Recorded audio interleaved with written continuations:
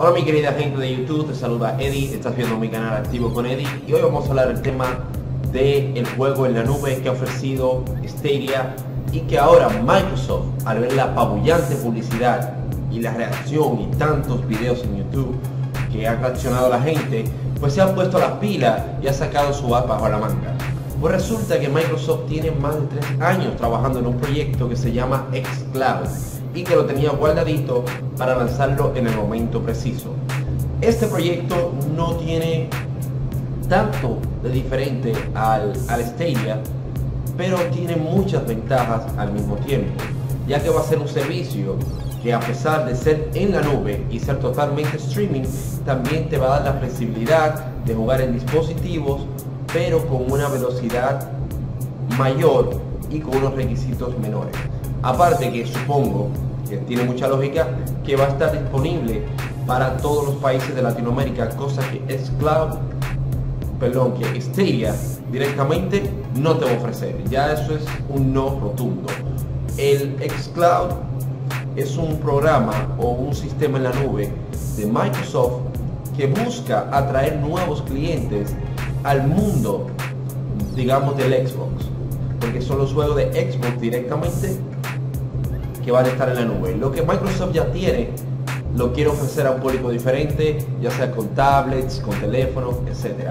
Pero siempre reconociendo que los requisitos sean mínimos. Al contrario de Stadia, que te pide los requisitos máximos porque el servicio es muy potente y es muy exigente. Y la verdad es que no son pioneros, son muy nuevos en esto. Entonces están experimentando al mismo tiempo. A ver, ellos las dos compañías, por decirlo así, lo que buscan es el dinero directamente.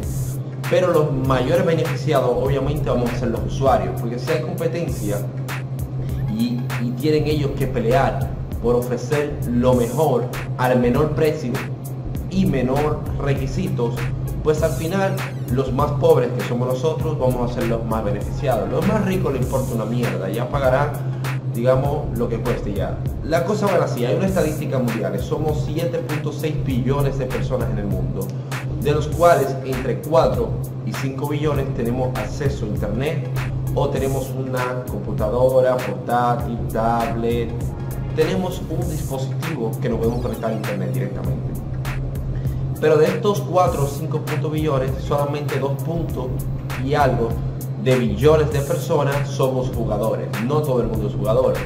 Entonces, con esta suma, que son descomunales, de jugadores que tienen acceso a Internet, es que se busca este servicio, que no estemos atados al típico, digamos, setup de consolas, que para jugar tienes que ir a tu casa. Si estás en la escuela, tienes que ir a casa para jugar. Si estás en otra ciudad, tienes que llevarte el equipo para jugar.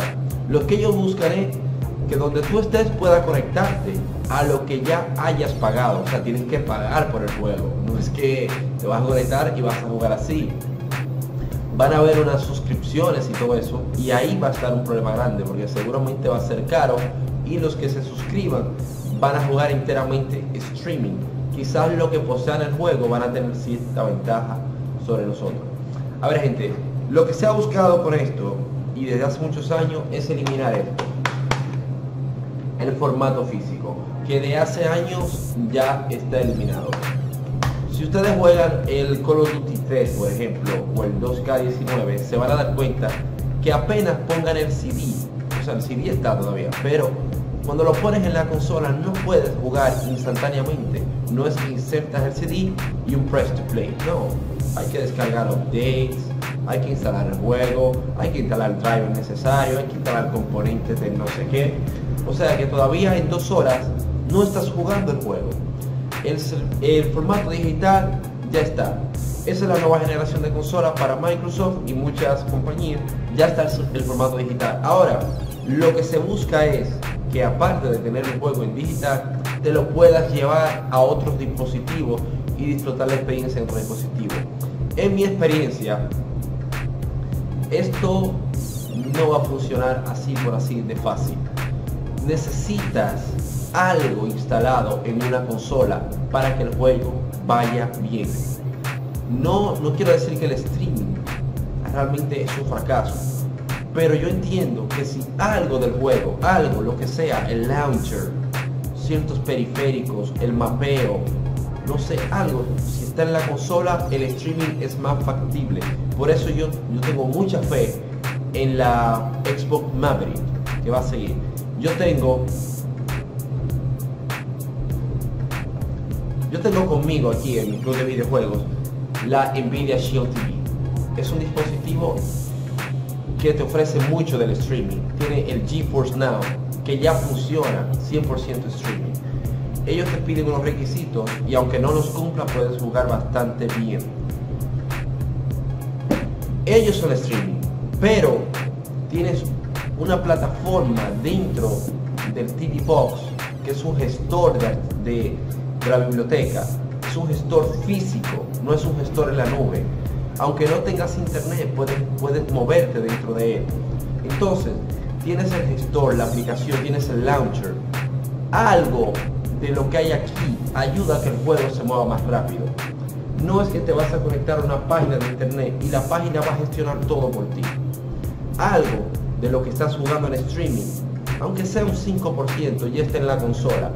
Y eso permite que eh, los requisitos mínimos, digamos, de Nvidia Shield TV o de GeForce Now sea 16 GB y que una persona como yo, República Dominicana, pueda jugar con 8 o 10 megabytes eso que está en la consola es lo que me permite hacerlo. Y si Stadia no tiene eso, y si el xCloud no tiene eso, pues la experiencia no va a ser tan placentera como ellos pretenden venderla.